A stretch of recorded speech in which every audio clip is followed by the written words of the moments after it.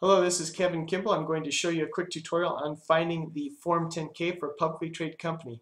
This is for my online accounting course. You should be here in the topic titled Explain the Role of Management, the Internal Auditor, and External Auditor.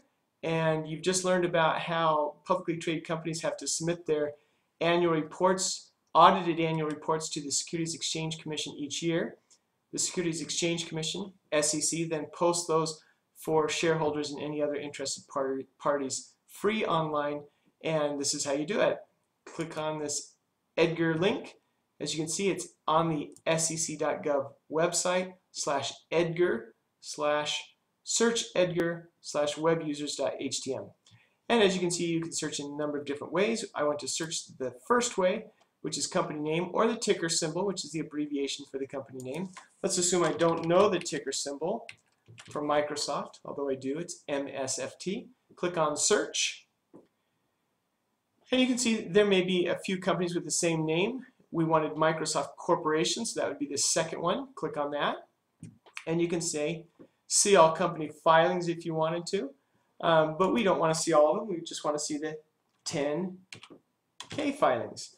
I'm not going to bother to put in a date and I will search. Now, when it first came up, you can say you can see all these filings that are already there. And within there is the 10K if you keep going further through these uh, entries. But uh, I'm going to filter it down to just 10K reports.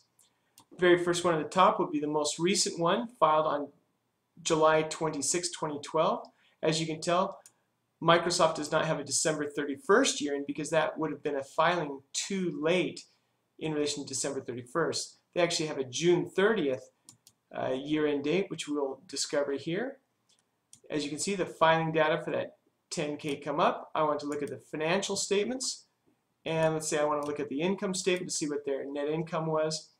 As you can see, three years were provided for these 12-month periods. They're ending June 30th and they have 73 billion in revenues because these are reported in millions. So watch out what it's reported in. It's not 73,000. That wouldn't make sense for Microsoft Corp. And their net income is 16, almost 17 billion dollars. And down below you have earnings per share and other information. So there's uh, footnotes and other things related to these financials, but that's all I wanted to show you. So hopefully it helped, and aloha.